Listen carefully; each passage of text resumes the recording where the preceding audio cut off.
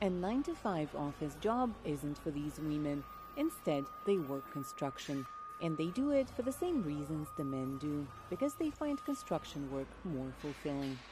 Being able to see the bigger picture, being a part of something bigger. So driving by the, the building, be like, I built that building to your family or to your kids in the future. That's kind of why I did it, just to be a part of something bigger. Before they start working, these women take a mandatory training course at a special center. And many of them say it teaches them not just to construct buildings, but also build a harmonious relationship with themselves. I think it's, for me personally, it's a constant battle on gaining confidence, but this job has definitely helped it. I don't think I would be as confident as I am now working in another field. Today, women make up about 10% of all construction workers in the country. All the workers need are a few tools, a helmet, special protective glasses, training, and self confidence. Kelly Kupcak has been working in construction for over two decades. For the last three years, she has been head of the Tradeswomen Organization, a company that has been helping women in Portland, Oregon to master construction work for free. Kupcak also helps them find a job, something a lot of them need because it's harder for women to break into the business. I also saw some really hard things and I experienced some really hard things as, as a woman in an industry that's still dominated by men.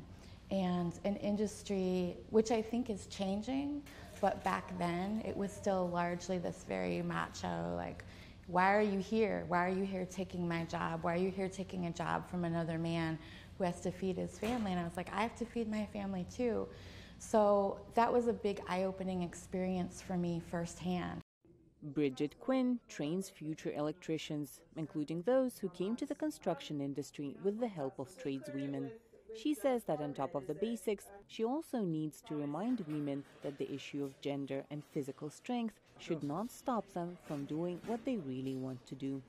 There's tiny men out there, and there's big muscular women out there. Um, there's times when having a smaller stature is going to be ben- more beneficial in our industry, and there's times when being bigger is going to be more beneficial in our industry. And I think that, especially as we grow as an industry, um, as far as safety concerns go and safety training and things like that, we're always learning how to do our jobs with the least possible damage, repetitive use, um, destructive use to our bodies. And so we're, we've got so many more tools nowadays that we can use to be able to do heavy physical work. Every year, more than a thousand women graduate from Tradeswomen Training Center, ready to build houses for others and a new life for themselves. And Kupcak is doing all she can to keep that number growing.